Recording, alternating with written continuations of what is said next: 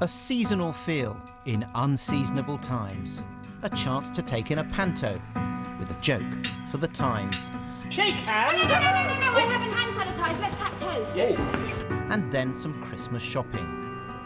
But some of those freedoms have been curtailed for millions across the country and will be for many more after large parts of the south of England were added to the top tier of restrictions. Secretary Hancock. From Saturday, just under 4 million people will move from Tier 2 to Tier 3.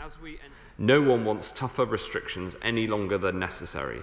But where they are necessary, we must put them in place to prevent the NHS from being overwhelmed and protect life.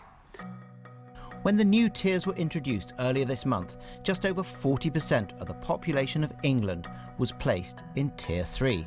That increased to 60% on Wednesday when London and some surrounding areas were placed in the top tier.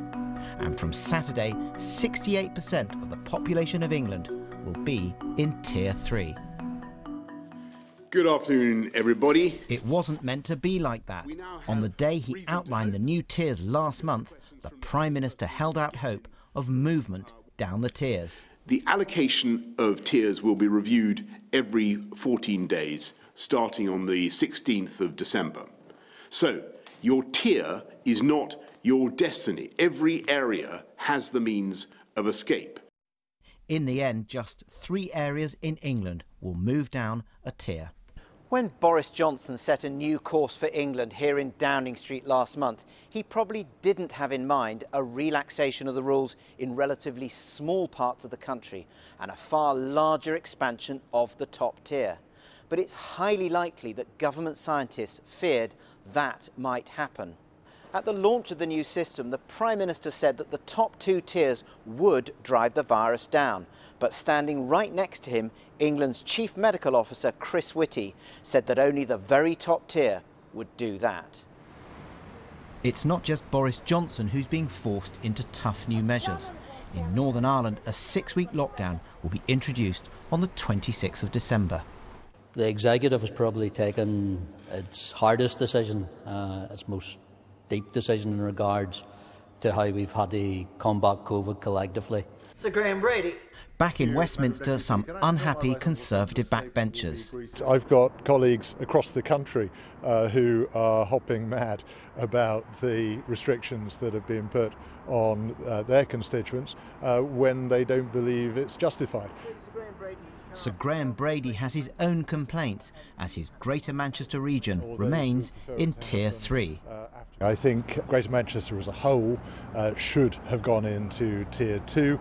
Uh, if you look at other comparable areas with similar rates of uh, coronavirus infection, many of them are in lower uh, tiers. Uh, but even if Greater Manchester as a whole didn't go into Tier 2, then at the very least, the boroughs in Greater Manchester with the lowest rates of infection, Trafford, Stockport, and Tameside, should have done so. The leader of one council, put into the top tier, talks of a mixed mood. I think people are resigned. I think there are some people who, who like a higher level of restriction because they think it's going to keep them safe. And until the vaccinations are done so that the people who are most at need, most at risk are able to be vaccinated and made safe. I think there are a lot of people who will want to make sure that they stay at home and keep very, very restricted. But there are other people who'll be absolutely devastated. The King's Theatre in Southsea, one of the few theatres to have the courage to do a pantomime this season, now has to cancel. Christmas will herald a brief relaxation of the rules, but then a swift return to restrictions with no guarantee of an end this side of a successful vaccination programme.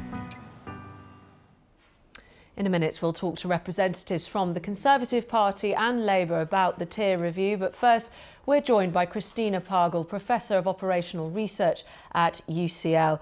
Christina, what do the numbers say in terms of the tiers working or not working? They say that they're not working, um, particularly tier two.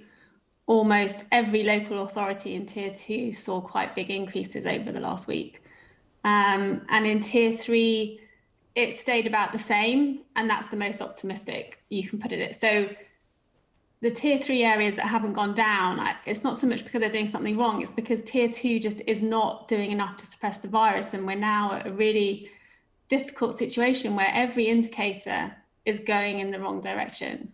Why is that? What, what is the reason for it? Do you think, as some have said, that the vaccination has given people hope so they are not taking the restrictions seriously?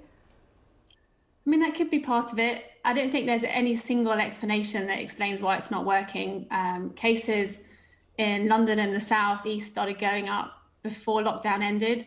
Um, it's not just restrictions. I think it's something that I've been thinking about for the last two weeks. And there aren't any easy answers. There are just difficult questions, but we have to work it out. And, and in the meantime, we can't afford to release restrictions when hospitalizations are so high. Like we were higher now than we have been since mid April.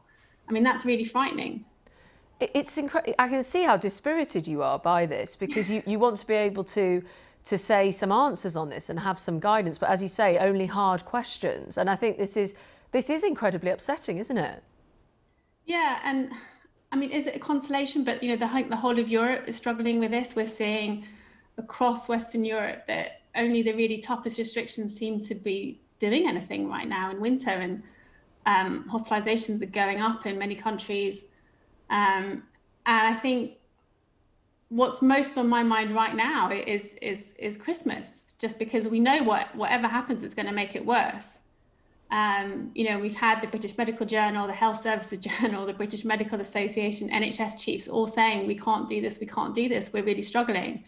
Um, and it just feels like we're going into this period and we're not protecting the NHS, and we're not protecting the people who'll need the NHS. Um, and I find that that really sad because I just feel like there are going to be hundreds or thousands of more deaths than than there need to be. Like just as the vaccine's coming. Um, so are you hoping that the government does change its position in terms of those Christmas relaxation rules? Yeah, I think so. I think I think the fact is that when they made those rules in November, we were in a different position. Lockdown looked like it was working, cases were coming down, hospitals were hospitalizations were coming down, but that's not the case anymore. Like things, um, cases are high now than they were before lockdown. We're at the highest level of hospital admissions than we have been in the second wave. I mean, we're not in a situation where we can afford to relax further. And the people who will get sick and die because of it are the people who'd be first in line for the vaccine in January. I mean, that's just tragic to me.